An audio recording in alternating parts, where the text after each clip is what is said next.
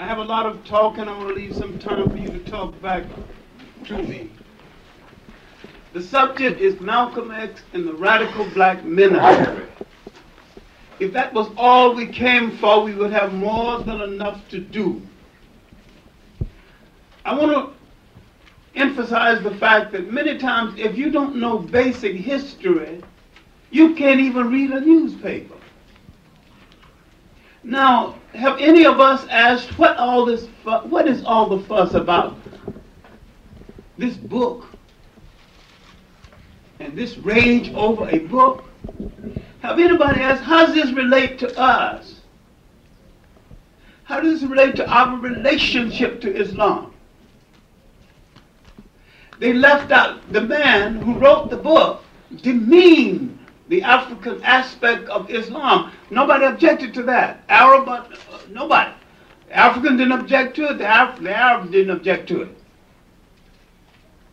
The fact that he left out the Arab, the African component in Islam, nobody objects to that. First, of all, you got to know what the component is to know he left it out.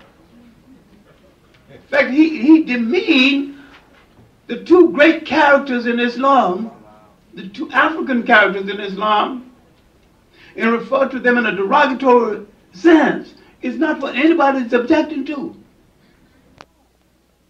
Bilal, these are the black makers of the faith. Ibn Rabah Bilal, the first Mazun, the first to call the faithful to prayer. He didn't mention Zayd bin Harith at all, and Zayd bin Harith, while Bilal was the first of the committed Muslim, he was the first to call the faithful to the prayer. So he was the spiritual man of Islam, the first African spiritual man of Islam. Zayd bin Harith was the first military man of Islam. Anta was the first literary man of Islam. It was these two Ethiopians, when the Prophet was about to be driven out of Arabia, when the religion was about to be destroyed, that, that advised the prophet to send his key followers to Ethiopia. And the prophet said, Go to Ethiopia, go to that righteous land where no one is wrong. How did we produce a nation that got the reputation that were never wrong? The Greeks called the Ethiopians the blameless Ethiopians, the favorites of the gods. When you bothered a Greek in those times, and the Greek wanted to get you off their backs, and look, if you don't leave me alone, I'm going to tell my friends, the Ethiopians. Now they'll deal with you. How did Ethiopia get a reputation for having kept its promise in such a way that they were called blameless? And why did the Prophet Muhammad say, Go to Ethiopia, go to that land of righteousness where no one is wrong? And they saved the faith. There in Ethiopia, they found shelter. They found a haven. And after the death of the prophet, they went back and got the religion underway. Bilal, who differed with the Arabs because they were fighting among themselves then, fighting among themselves now. He said the prayers only twice. Then he returned to Ethiopia. He saw the faith about to be fragmented among several branches of the Arabs, as it's still fragmented, and they're still arguing over these fragments. He saw the Arab beginning to become something he still is, the most corrupt element within Islam. And a lot of blacks who think they're practicing Islam is practicing Arabism.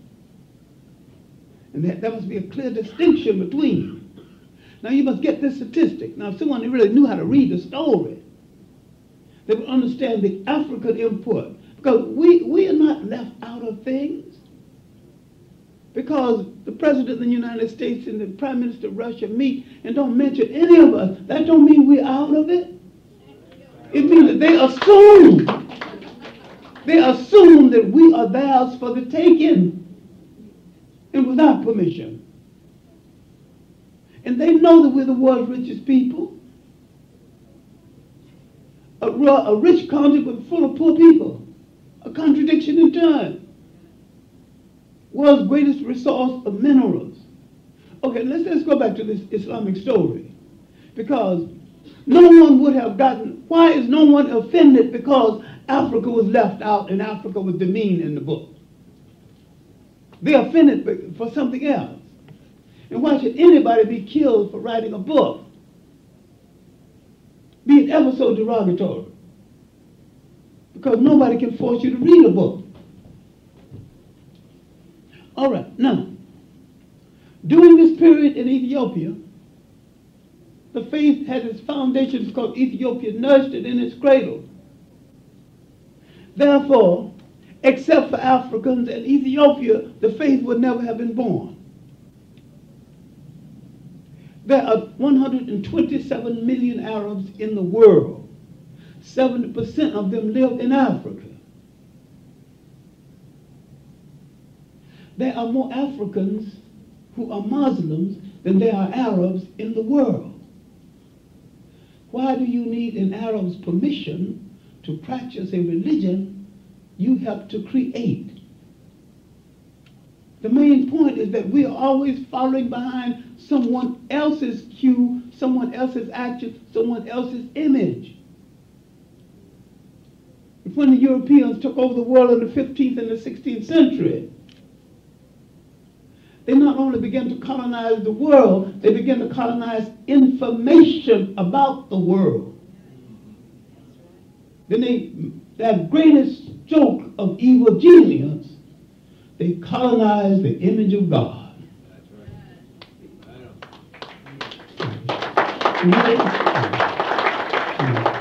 We are the only people that worship a God that we didn't choose for ourselves, somebody else chose for us. We belong to sororities. We think they're Greek. We don't know enough history to know that the Greeks had no fraternity and sorority until they came in, in touch with African secret societies.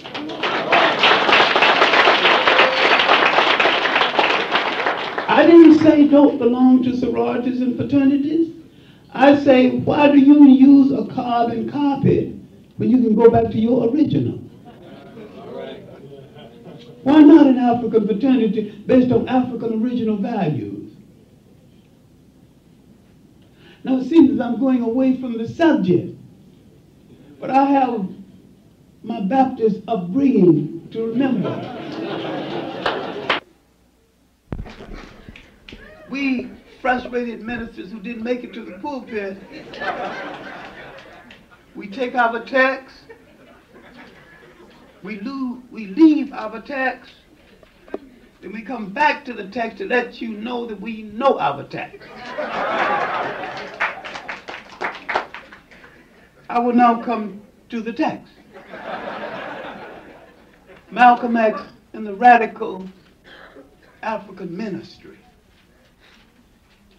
People do not understand that we are not only the world's most consistently radical people, we are the world's most consistent revolutionary people. Because black studies sometimes misses its mark. And nobody documents and explains to you the number of revolutions in the, in the Western world that happened before the American Revolution. This is the 200th anniversary of the French Revolution, and I'm one of the people in the committee to celebrate the French Revolution. Why? Because I want to make sure the African part got in there. The assumption is that the French Revolution was about something in France. It was about the levels of the French bourgeois arguing over spoils of the slave trade. And they let the working class see them chopping off each other's head. And the working class got the illusion that it was about them. They let the working class storm the Bastille and take some people out of prison they wanted out in the first place. So he had the illusion that he was part of a great revolutionary movement. His condition did not change one iota because of the revolution. Once we look at revolutions, then we look at some of our revolutions that we have forgotten. They came before the American Revolution, the Berbice revolt in Guyana, the revolt in Palmares, the revolt in, eh, eh, eh, in Bahia, the revolt in Cuba as early as 1527. So the more I explain, the more I let you know there's nothing extraordinary about the extraordinariness of Malcolm X. We have seen his kind before. They are interwoven through our told history. Now let's go back and see if we can see some of the early ones whose revolt changed the status of their day and ultimately changed the status of the world.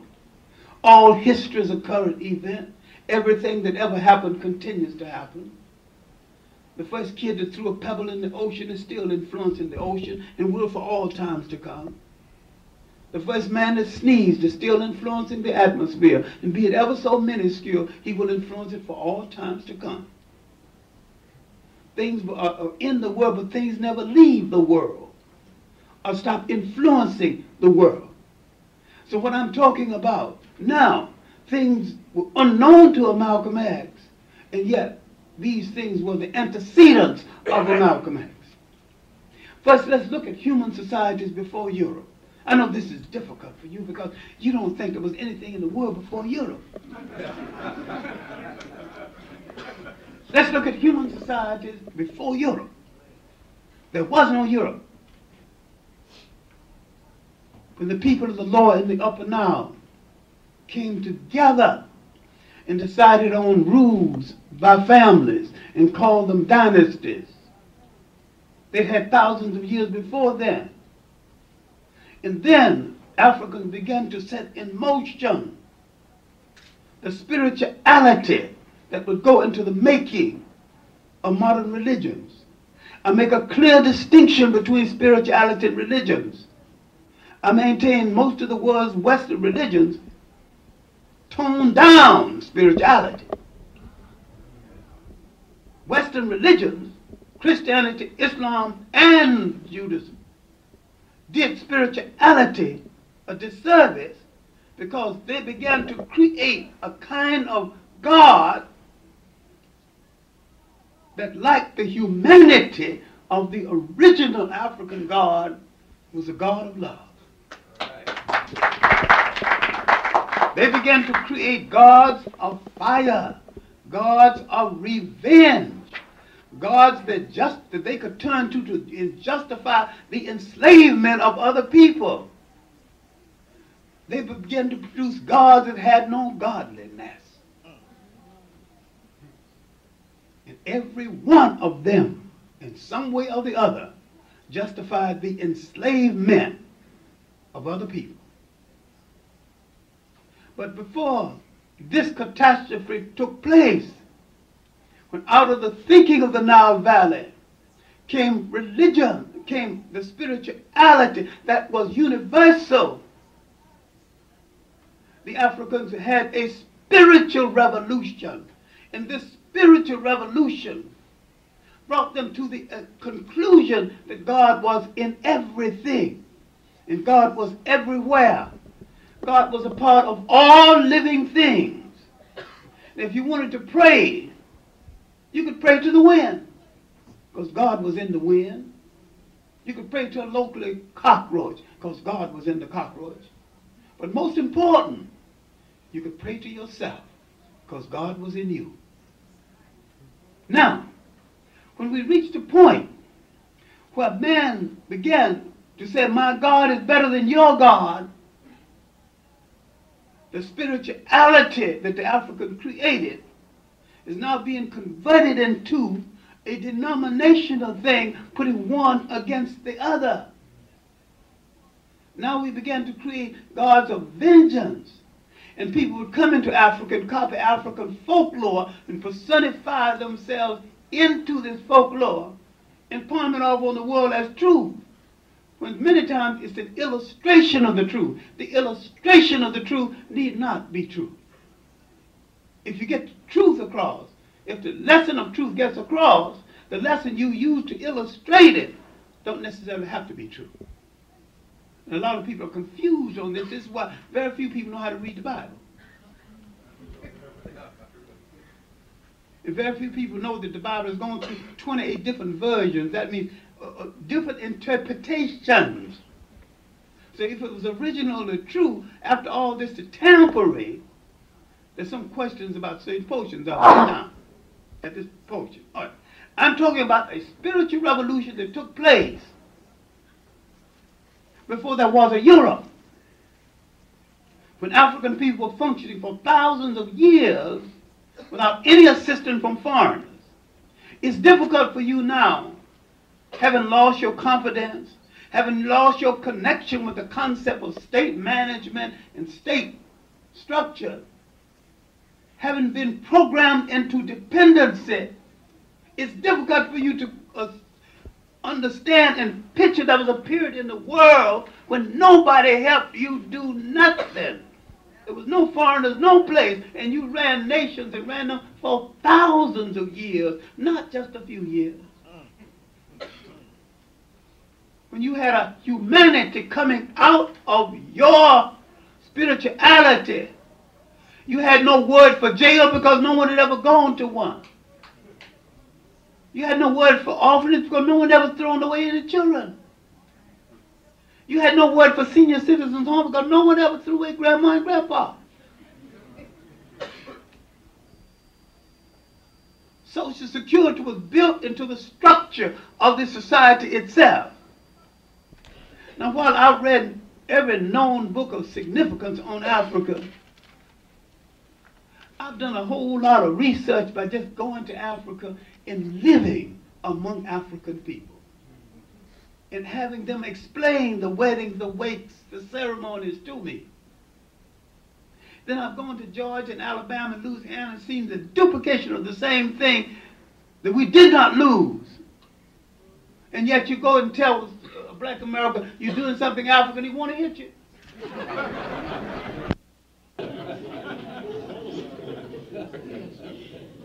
and yet, that Af those African traits came down, is coming down through the years.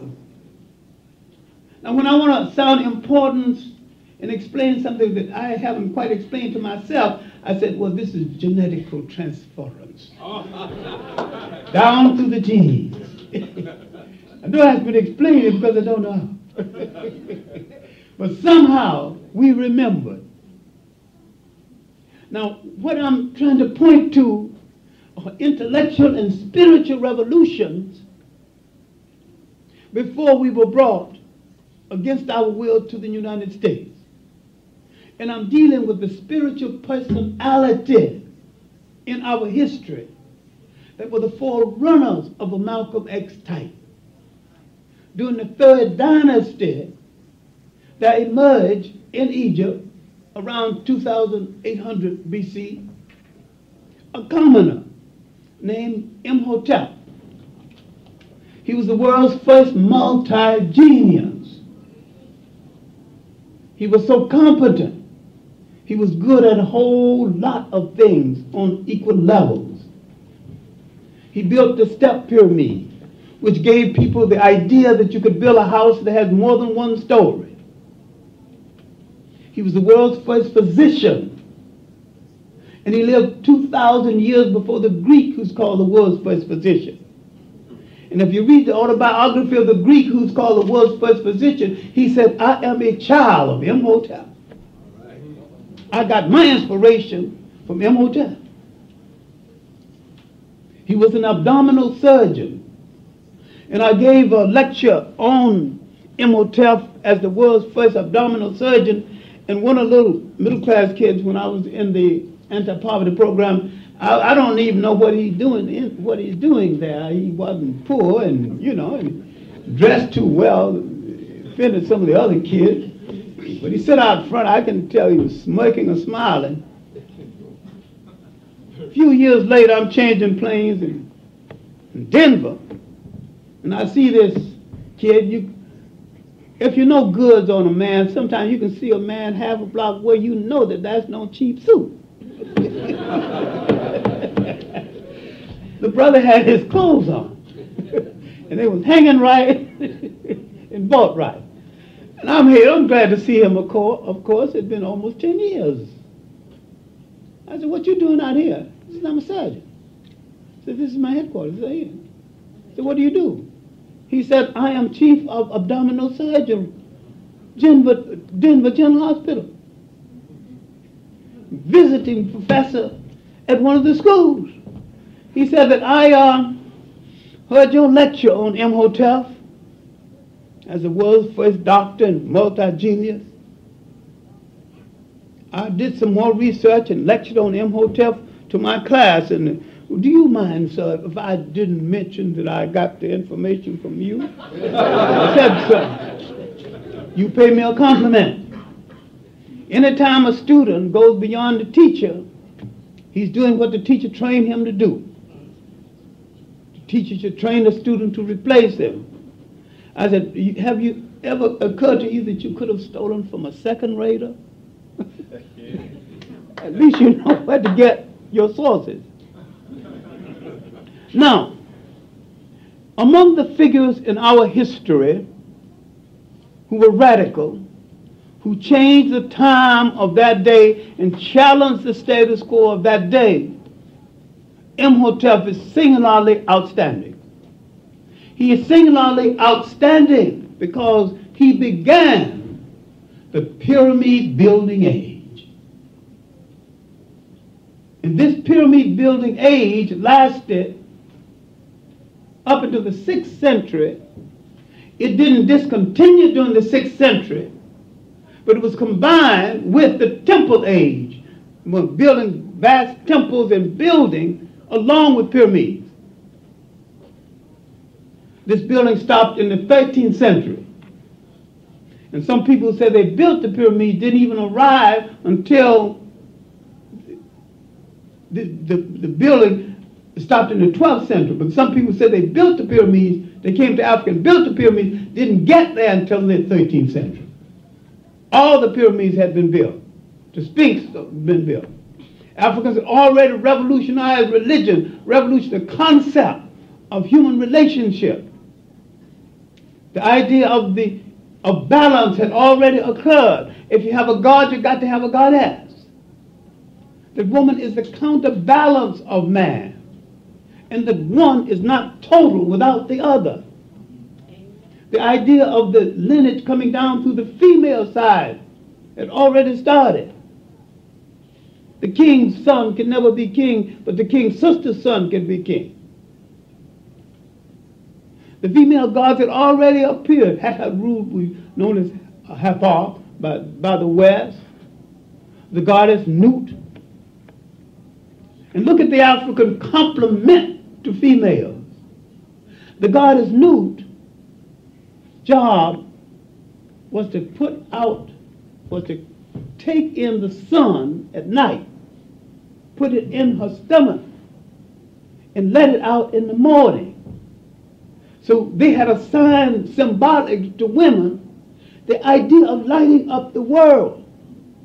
See, man wasn't so insecure that he couldn't let woman go as far as her mind would take her without exploiting her. We will not deal with the fact that Western man and the Arabs are not only womanizers, but they fear women and they fear them in power. See, the woman in Africa had already established the pattern of riding at the head of her army, not behind it, at this period. They would go on, although Ethiopia would produce more, more female queens of substance than Egypt, but the ones in Egypt are more or better known because Egypt is at the back, at the front door of Africa, and it gets um, more public publicity. Now, in looking at the radical ministry before Malcolm X, my point is that that radical ministry did not consist of man only. That women gods played as important part in this radical ministry as men. And man recognized that. Now, when we look at many of these female gods, especially uh, Hathor, because the practice of Hathor And she's generally pictured with a female torso and a cow's, I mean, a female face and a cow's torso, cow's body. This is where the whole concept of worship of the sacred cow spread to India. Well, part of the matrilineal system spread to India. I should read Cheikh Anta Diop's book, The Culture Unity of, of Black Africa. It's, it's all there because uh, I, I'm not going to talk about anything that can't be found in some book someplace. Because a professional teacher cannot afford to say anything that can't be proven somewhere. You know, you, you can't play games, you know. Because when you go to Con Ed, they don't lower the light bill because you're a distinguished professor. They charge you the same bill. so those practicalities have to be taken into consideration. And if you make your living teaching, you can't look ridiculous because nobody will hire you after that. Okay, now, when we look at this revolution, when we look at the fact that a, a, a negative revolution occurred with foreigners coming into Africa, suppressing its culture, taking away its, its, its revolutionary fiber. And then when they recovered this and went on with the 17th and the 18th dynasty, we find not only new revolution, but we find new concepts of spirituality. When we look at that 18th dynasty, now it's the 18th and the 19th dynasty Dr. Ben and I argue about. One of the main reasons we argue about it is that we enjoy the argument. I will never yield to him that the 19th dynasty was the greatest dynasty ever to sit on any throne at any time in the history of the world because I know the 18th dynasty is the greatest dynasty ever to sit on any throne at any time in the history of the world. Now, we generally sell this argument by arguing about who paid the dinner for the other one the last time. and he insisted that I paid it the last time. Now it's his turn to buy the dinner. And sometimes this ends in a compromise, and sometimes this ends with him slipping away the, the money and say, come on, let's go. The bill is over. It's all over. he wins it that way. Because we generally go to restaurants where he has got connections. All right, now. okay. All right, now. I'm saying that this is a man that I've worked with for over 20 years, known over 30 years, and love him as a brother and have those creative disagreements with him that enhances both of us and sharpens both of our concept of the approach um, uh, to history. I learned a great deal in my relationship with Dr. Ben because he's a specialist on one side of Africa, I'm a specialist on the other side, then I'm kind of a general practitioner uh, with a good knowledge of all of it. Now, we're talking about the radical black ministry before Malcolm X. And the one radical ministry that did the most and influenced us to this day was Imhotep, whose original name was Amenhotep IV. A sickly boy, didn't want to come to power, son of the great Queen Tai, about 12, uh, 1360 BC, finally came to power and permitted the colonies of Egypt to succeed from Egypt. Say, if, if you don't want to be under Egyptian rule, you don't have to fight. We let you go. And he let the colonies gave them their freedom. Then they pledged allegiance to Egypt, and Egypt was stronger than ever without a colony. Many historians interpreting the life of Akhenaten not only disagree with them, but thought that he did Egypt a disservice by letting the colonies go. Walter Weigall, in his um, book, Great Personalities of the Ancient World, he calls his chapter on Akhenaten The Adventures of a Nigger King. he had, whatsoever it means, the stereotype figures, features that's assigned to African people. I don't agree with the stereotype features because I know that there are more physical types in Africa than almost any place in the world. And there are Africans who have identical features as the Europeans and who are jet black. The Africans who are jet black with curly hair. The Africans are jet black with coarse hair. The Africans who are moderately brown, not mixed with Arabs or Europeans. This is why the overuse of the word black sometimes need to be questioned because black tells you how you look, but don't tell you who you are, but don't always tell you how you look.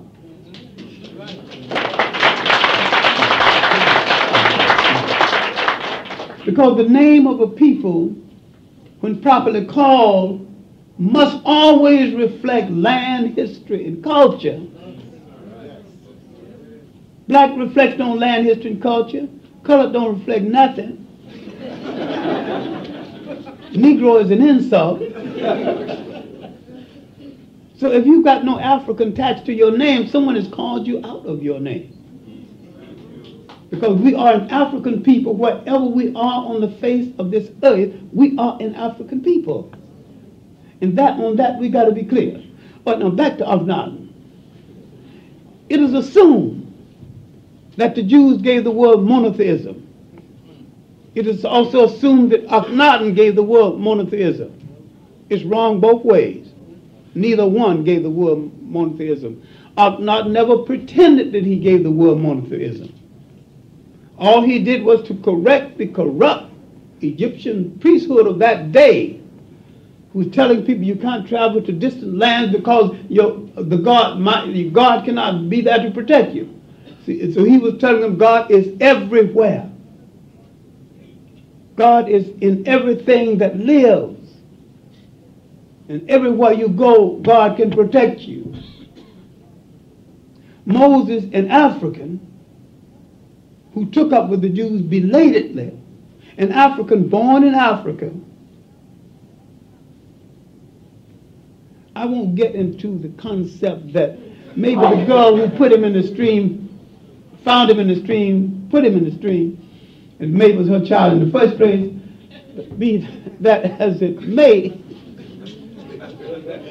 because that story has appeared in many languages, in many other cultures. You know the one side of it. You know the Western biblical side of it. But there are other stories, there are other Noah stories, there are other flood stories. There's a book by Sir James Frazer, The Folklore of the Old Testament. Almost one volume is devoted to flood stories as they appeared in other civilizations. John Jackson has written a book called Pagan Origins of the Christ Myth, showing you that the Christ figure has appeared in a whole lot of civilizations, and many of them a thousand miles apart. Okay, now, Akhenaten revolutionized the spirituality of that day by restoring to people what they had in the first place. When Moses took up with the Jewish people, because he had some difficulty with the house where he had grown up as a pampered prince, he said, Obey my God, I'll be your leader. Now, he would ask them to obey the God and the religious concepts of Akhenaten. And this man, a revolutionary spiritual figure, would now set in motion a concept that we still hold on to. What we have to look back and look at these ministers, the first ministers of the world, these priests, because many times they were priest gods priest deities higher than a pope. And these priest deities were also something else. They were also scientists. See, all the nonsense about separation of church and state is a bogus lie because there's no separation of church and state. This country was designed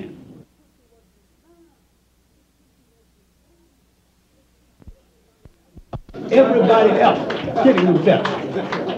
And everybody else is kidding themselves. And the Catholics kidding themselves, the Jews are kidding themselves. The white woman got the vote day before yesterday, 1921. And when she got the vote, after all the fight of the suffrage and all the colorfulness of her campaign, she didn't get the vote until she got it across to white men in a country where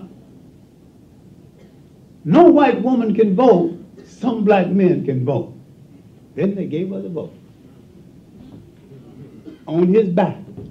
And they give her affirmative action the same way.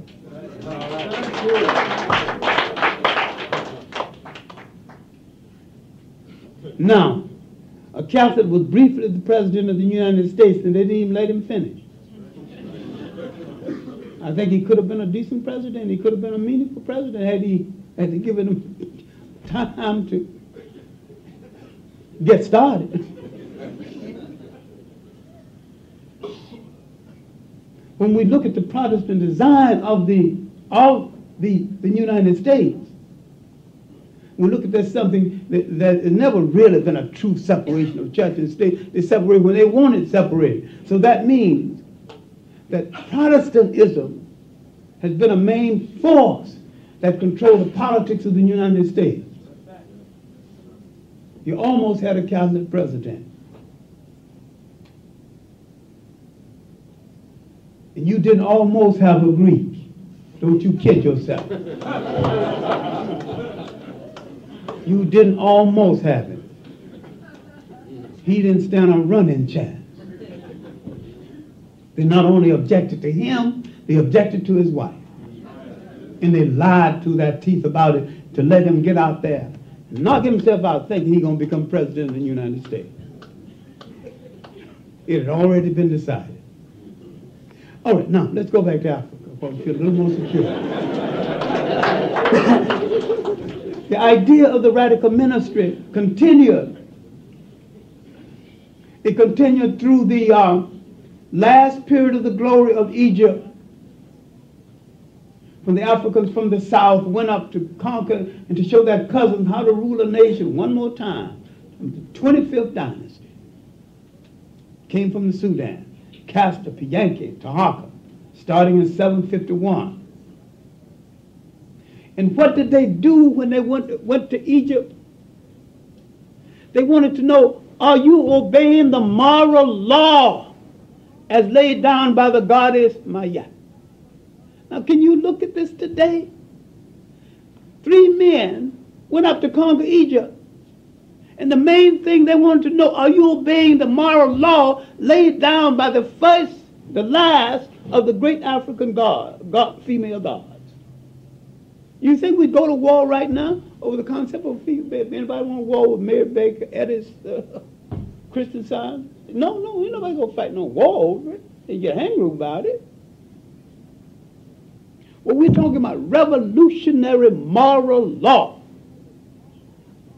And this last move into Egypt from the south was to make sure that they obeyed the revolutionary moral law as laid down by the last of the great female gods.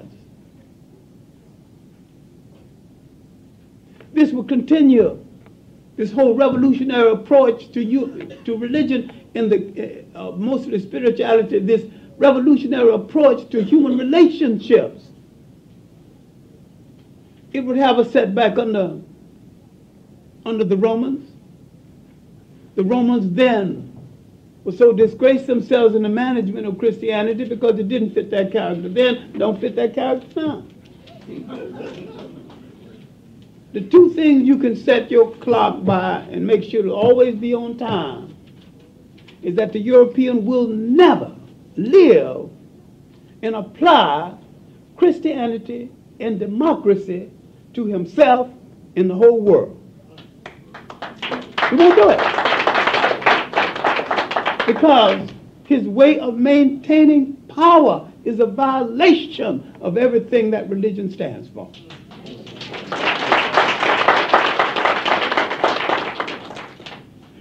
One of the reasons why the African was then and still are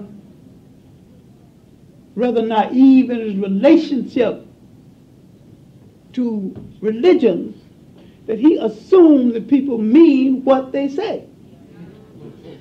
We still out Muhammad, Muhammad, and out Pope to Pope.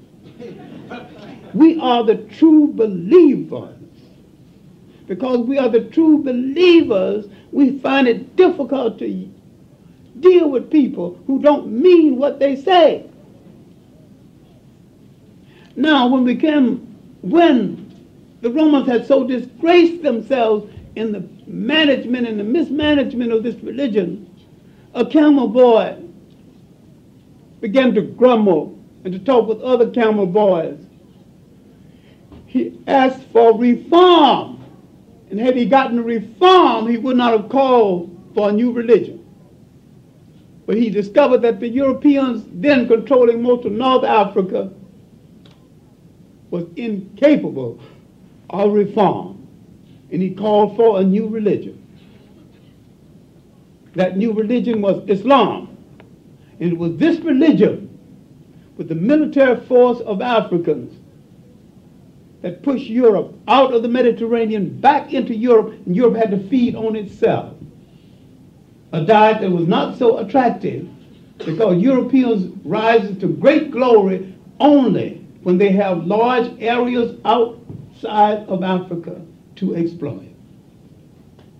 This explains why they came out of the Middle Ages, people poor, land poor, and resource poor, and recover at, recovered at other people's expense and still maintained themselves at other people's expense. America consumes the bulk of the tea in the world and don't produce one pound of tea. America uses most of the gem diamonds in the world and don't produce one of them.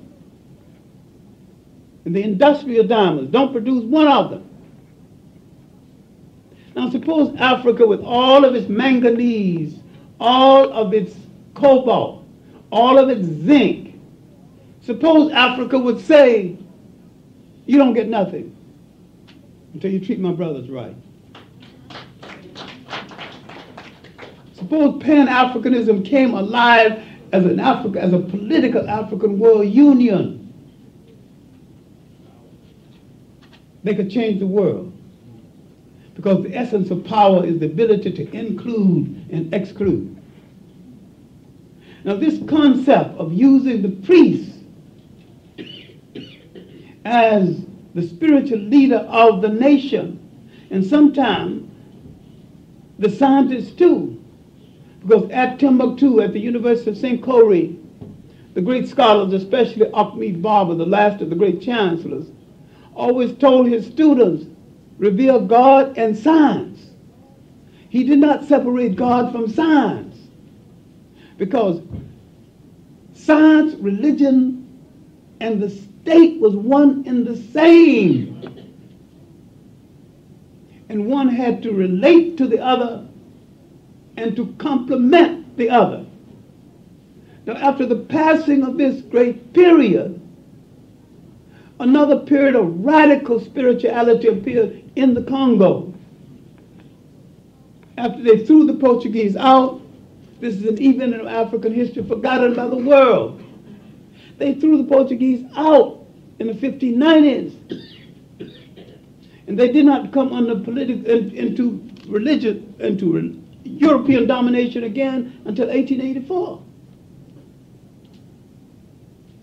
From 1600 to 1620 was the golden age of Reconstruction when they not only gave up the Portuguese religion, gave up Portuguese cooking utensils, started using Portuguese name, and went on to have rebuild that country and to have a golden age right in the middle of the slave trade and in spite of the slave trade, under the leadership of a great African spiritual king, Shamba Bolongongo, who outlawed warfare. All right, now, in summation, my point is that the radicalism of a Malcolm X relates to our totality, that we've been producing these radical ministers, and Malcolm was a radical minister, that this is not new in our history. It went down to the end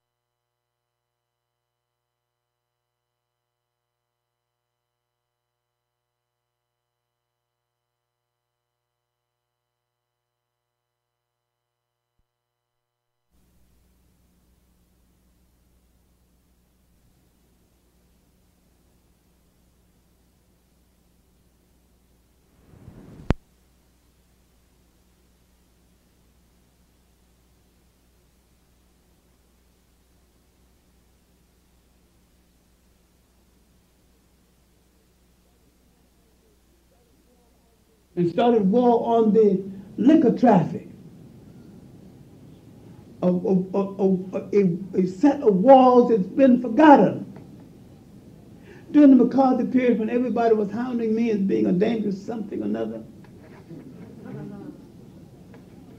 I wasn't so proud like the other radicals. The other radicals, these just cried all over the place. I went and got myself a job. I mean, it didn't have to be fancy. He night supervisor of cleaning at a broadcast company. Sound like a decent job to me. It's never in my life that I had made four dollars and eighty cents an hour. I was doing all right. Wasn't doing a whole lot of work either because the job was relatively easy. Then I began to do research with this free time. I wrote several works. One, the lives of Africans who resisted European encroachment. A lot of it appeared in newspapers, and when I got to Africa, a lot of it appeared in newspapers there. No one ever wanted to publish it as a book because one white publisher told me that you have proven that Africans who never heard of a military school or wore a, show, a store-bought shoe outgeneraled some of the finest minds in Europe. You have proven it and I have enjoyed reading it, but I don't choose to pay you to do it. So the book wasn't published, and I still got it.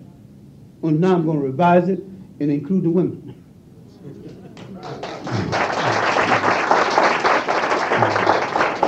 Some of the greatest of the resistance leaders in Africa were women. There's only one under the uh, banner of Islam Amina from Ghana, from uh, what is now Nigeria.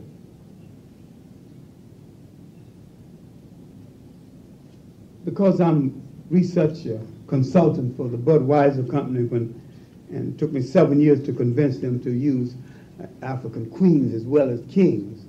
When I finally convinced them, and people, and I looked at the research on uh, Amina, I decided I had to do a little editing. This was a brilliant woman warrior who conquered cities and protected most of what is now northern Nigeria. But her enemies told such lies about her, I wanted to make sure that these lies didn't get in the script. And one of these lies was that each time she conquered a city, she'd take on a new lover. And if he wasn't satisfactory, she executed him in the morning. There was no proof of this at all. Just a rumor. So I decided to leave it to leave it up. Okay, all right. When we entered the 20th century, we had a hundred years of the radical ministry. Martin Delany, Henry Highland Garnet, who said, my motto is resistance and as we entered the 20th century, Bishop Turner, all of these forerunners of Malcolm X. It was a preacher from Barbados that found the Masons. I mean, ministers played a more revolutionary part in our life then than now. When we came to the Garvey period, Garvey began to find a revolutionary church focused on African image. Who said the angels didn't look like us? Who said the deities didn't look like us? He began to say black angels and black saints. This was the revolutionary approach under Marcus Garvey and Bishop McGuire, who headed this church. So when we arrive at the civil rights period, in the emergence of a Martin Luther King, the antecedents of King was over 3,000 years old because we had produced that type before. Akhenaten believed in nonviolence, outlawed warfare. Shamba Bolongongo believed in nonviolence, outlawed warfare, and sent soldiers to knitting, of all things. And some of the knitting that they did can be found in the Brooklyn Museum right now.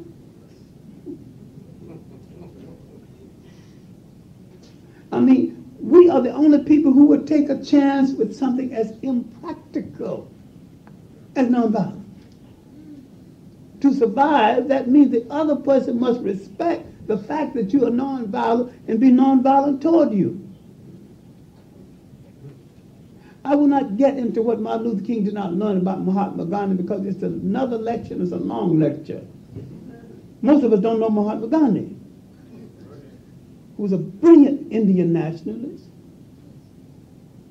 a good B actor like most politicians must be, a liar when it was convenient like most politicians must be, but who loved India so much he didn't have no time to even speak a word for the Chinese being kicked around next door. He was solely an Indian nationalist. I'm saying that Martin Luther King is not unrelated to it. Now, the transformation of Malcolm from being a pimp, hustler, dope seller, dope taker is a wonderful story in America and it tells us something about American education that's not complimentary. His study methods were so unorthodox. Here's a man sits in prison. He want to learn words, and he picks up a dictionary and starts with A. Let's go right straight to the dictionary. It's a good way to improve your vocabulary. but who learns it that way? I grew up with a phenomenal memory. Gamblers used to take me around. I bet you this boy could tell you how many ships in the Japanese Navy. And I could tell him. I always worked for white people who threw away the almanacs. So once they threw away the almanacs, I memorized it. So all of my information was a year old, but who knew that?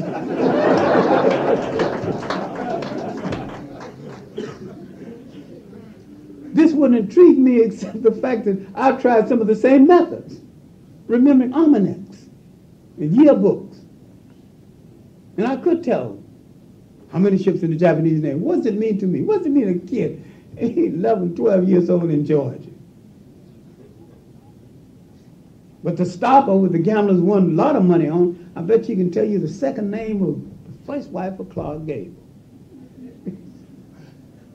What's that to a kid living in the slums of Georgia? I started remembering everything. But the one thing it taught me, how to retain information. Then I had to dump all the irrelevant information out of my mind to learn how to retain information of some significance. It was a good form of personal training. Now, from Malcolm X's background and from the attempt to destroy his confidence he pulled himself up by making a connection with a religion, Islam. He began to use that religion almost as a, as a purification rite. Begin to adjust his diet, begin to adjust his attitude, begin to adjust his habit. And finally, he would, he would emerge as a minister. And after the brief period in Detroit, he would come to New York to build the leading mosque. And he became the spokesman for Elijah Muhammad. And he not only became the spokesman for Elijah Muhammad, he put the movement on the map. He had great respect for Elijah Muhammad. And many times when Malcolm X was saying, the Honorable Elijah Muhammad teaches us, Malcolm X was teaching original Malcolm X lessons that the Honorable Elijah Muhammad never thought about.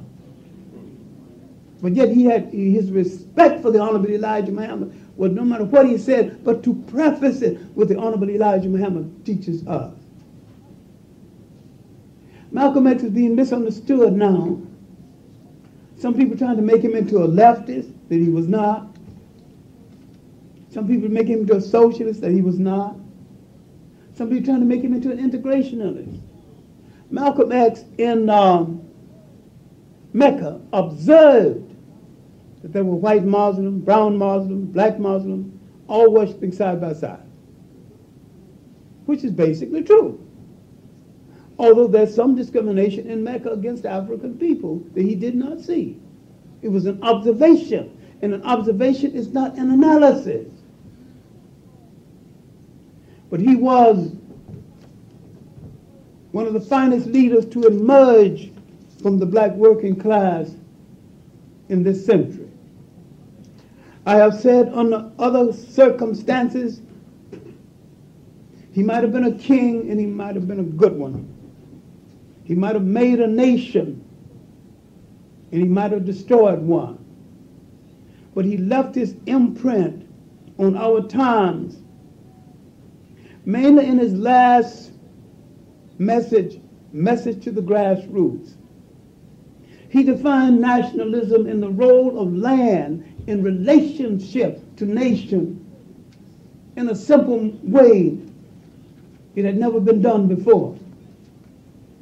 One thing about Martin Luther King, he could erode, he could, he could wash your emotions, he could make you feel good, but you say the next day you couldn't say what he said. but with Malcolm X, he would say it so plain. Yeah, and so good. You would remember. You would remember it forever. His parables were taken straight from African folklore. And he always chose the right one to illustrate uh, the point. It has been said about Malcolm because his imprint on our life was so explicit that freedom was his land and dignity was his, his destiny.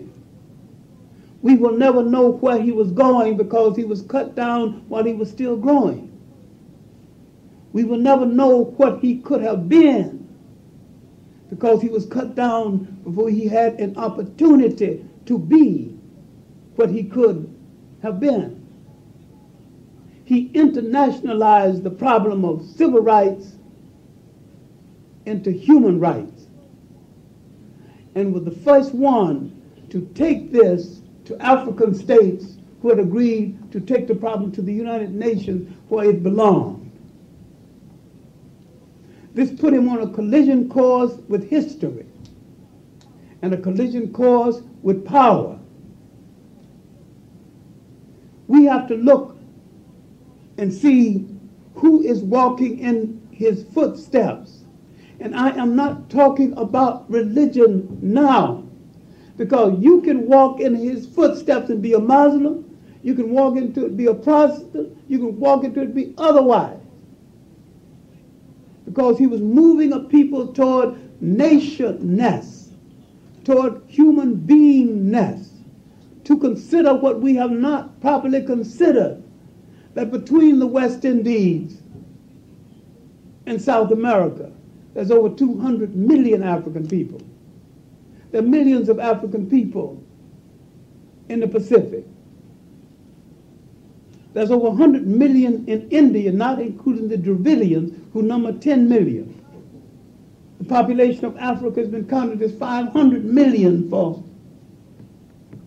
over 50 years,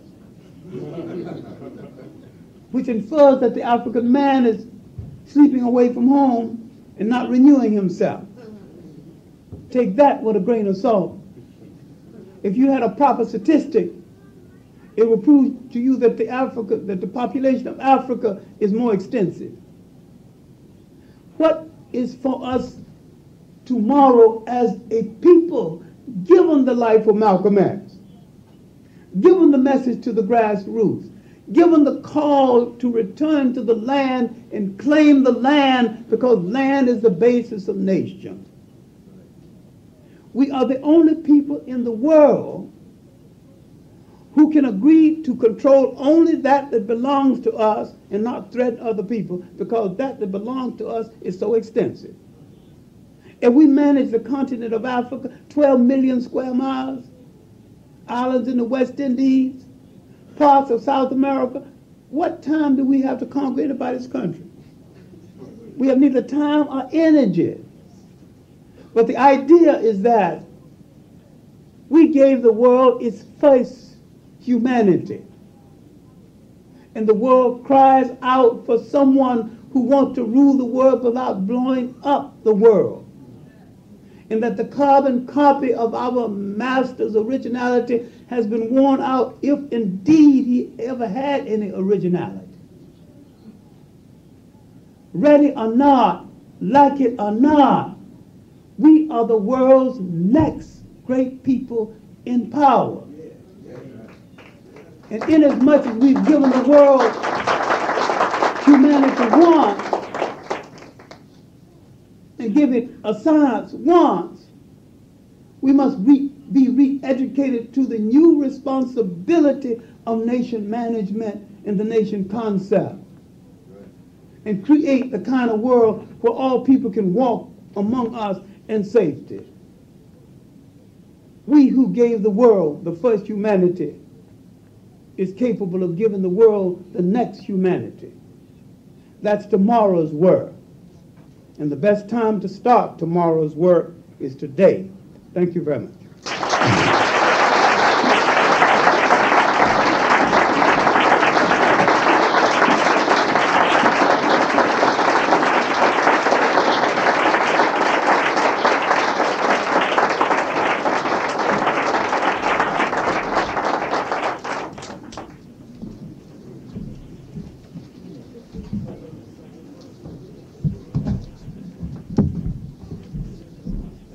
You have to feel the question.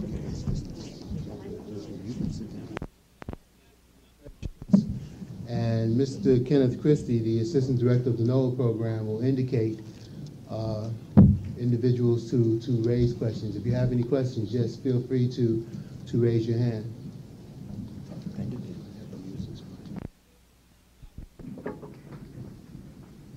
Are there any questions? The lady in yellow. In your summary, in your summary, you mentioned what Africa Power first over themselves. But my point of safety is that they can regain power without being a threat to the world. That, that was the, uh, the main point. Now, half of human history, over half of human history, had already occurred before the first European wore a shoe or lived in a house that had a window. And we have not, and we, we sometimes tremble assuming that the world waited in darkness for them to bring the light. When, as a matter of truth, when they entered other countries, they put out the light.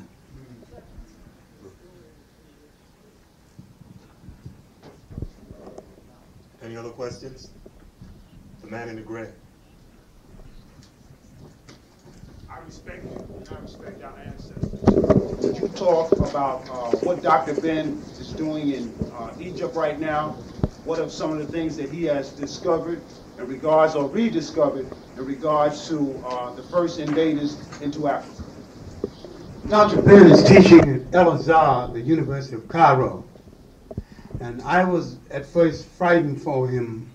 I'm not totally unfrightened to this day because I just don't believe the Arabs are going to let him teach the truth consistently and get away with it.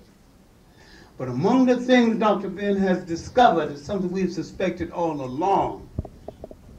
In the famous burning of the libra- library at Alexander, where some of the greatest documents in the world supposed to have perished, some people took some of the best books out of the library before the library burned.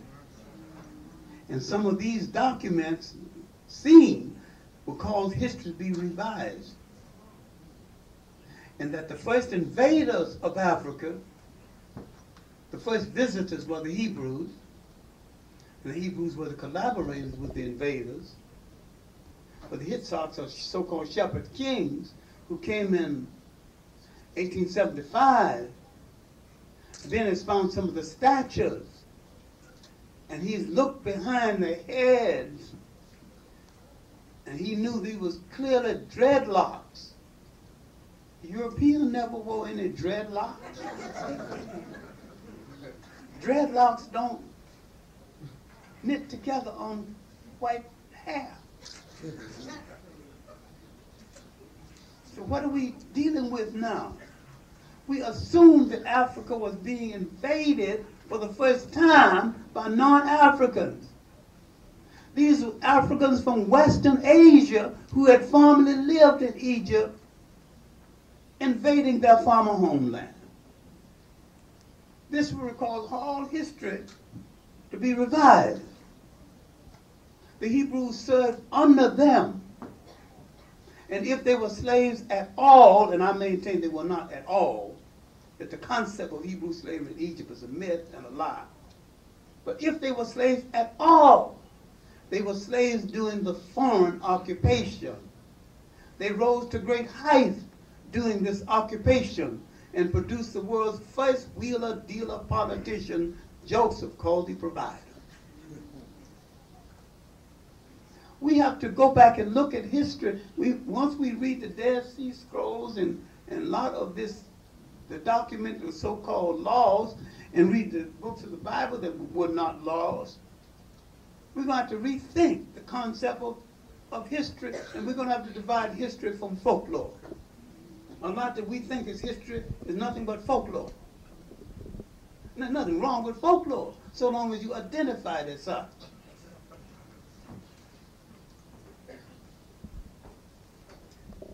Man in blue. Yes. Professor Clarke, I want to thank you because you really provide us with a wealth of information. I listen to you on WBAI. You're so very informative all the time. One of the questions I want to ask you, uh, recently a Canadian study was done by some professor, and he tried to categorize intelligence in people. And what he did is he said that first it's now it's the Asians who are the intellectuals, and then it's the Europeans, and then it's the African Americans. I mean, could you comment on why do you have to do these kind of things in order to I don't know to subjugate people? Could you like Well, why do they have to classify people as third world? And why do we always get in the number that's numerically at the bottom? We didn't do the classifying. What they wanted to do now, what the Western world is looking for, is an Asian ally against us. Yes. And they're pampering the Asians, so when they go against us, they can get Asian support. And there's a lot of Asians who would go along with it, but I don't think enough of them will go along with it to make the greatest difference. What do you think the picture of the Africans is about? If to mean the Africans, if you knew African history, a lot of things Ali Mazrui said was not only incorrect, but was demeaning. He comes to Ghana and tells a political joke. He goes to Nigeria and tells a political joke. But all the great history behind these two countries. He, he, he whitewashes the role of Islam in the Arabs in Africa. You have to separate Islam from the Arabs. If you could ever separate Islam from the Arabs, you would understand to what extent they betrayed this religion by inserting slavery and using it to oppress people. At the end of the session, he said that there's only two million Africans in the Arabian Peninsula. He's trying to deny the Arab slave trade. He wouldn't have asked that question to me because I know why the other Africans went. They went into the Portuguese slave trade at the later period. They were processed at Zanzibar, one of the largest slave trading ports in the whole world. A lot of them went into India earlier. The African slave, the Arab slave trade started 600 years before the European slave trade. People don't want us to know the real truth about ourselves, but the role of the picture, that picture was paid, I mean, that series was paid for by the Annenberg Trust, a, a Jewish youth, newspaper trust in Philadelphia. It cost $750,000 they only got six hundred thousand from the National Endowment that removed its name. Why would a Jewish foundation pay for an Arab-oriented film series? They're buttering up the Arabs so that one day you will see the Jews and the Arabs in the same political bed against us. It seemed incredible. That's why it's going. That's, that's why it can happen.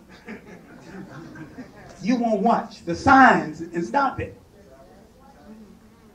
See, once you deal with Africa's back door, the whites in South Africa, you got to deal with that front door. If Africa's ever going to be free, it's got to be free of everybody who came there as an invader. And everybody in Africa who can be called an African, who cannot be called an African, is either an invader or a descendant of an invader. You have to ask the invader, what is your intention in my house? Either you pledge loyalty to my house or you get out of my house.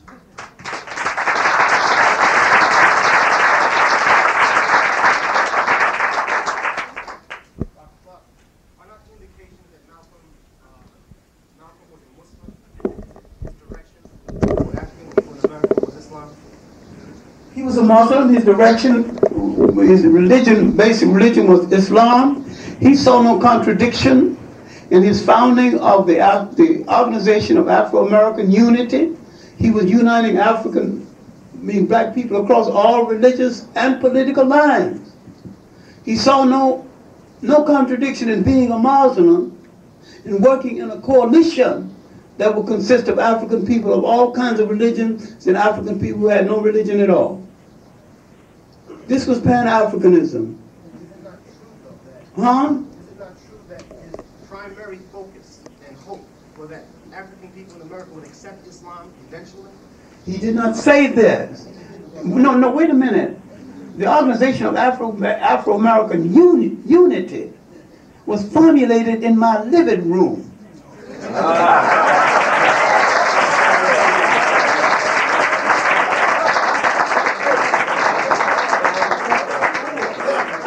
located the documents.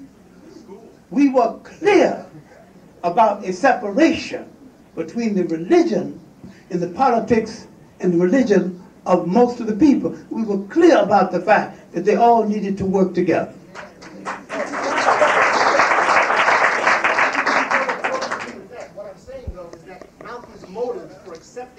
Strategy at the time he was alive was because that the people, the African people here were brainwashed in the white man's Christianity, but that he would want African people to accept Islam as the only true solution.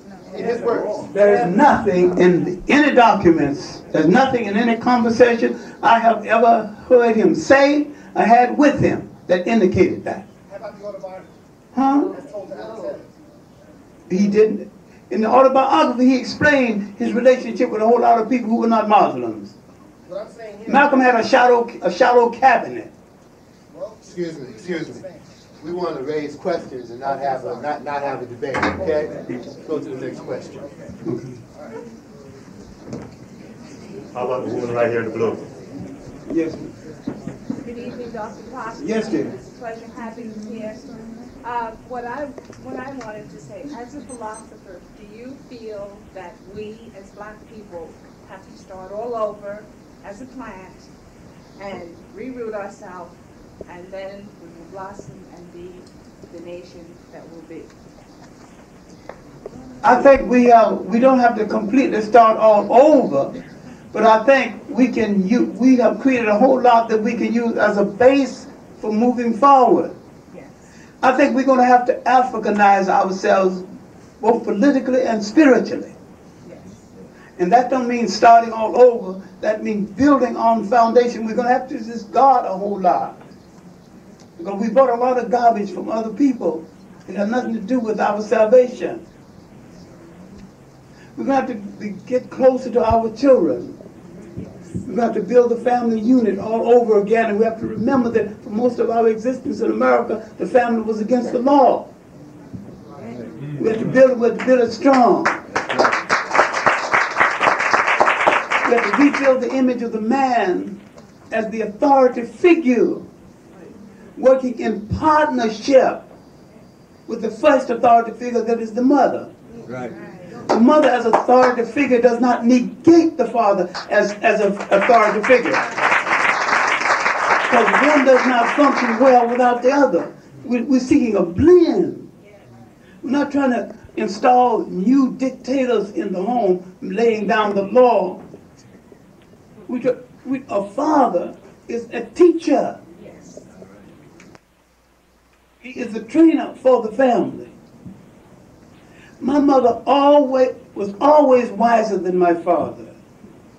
And she never, never crushed his feelings. And she would approach him and she says, John, you know, I suggest. Her suggestion, he mulled it over in his, eye, you know. And she carried, when he carried out her suggestion, she congratulated him for having such a good idea.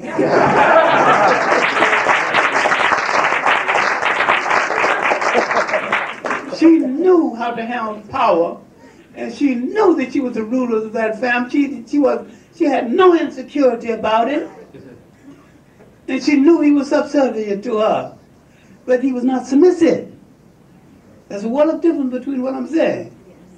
She respected him at all times and never encroached on his manhood, not even one time. That's a learning. I think she went to the third grade, but I'm not even sure of that. And yet she was a learned woman. Learned in the ways of handling a family, having children, keeping, keeping them together. She was a washerwoman. She was saving 50 cents a week for my venture college education. She said, this boy is going to Tuskegee, even if I had to pick him up in my arms and carry him there. I didn't make it to Tuskegee. I didn't even go to college until I came out of the Army under the GI Bill of Rights. But I respect her striving to make me an educated man to such an extent that I went to secondhand bookstores and college cast-off bookstores, gave myself a high school education and a, and a college education before I got to college.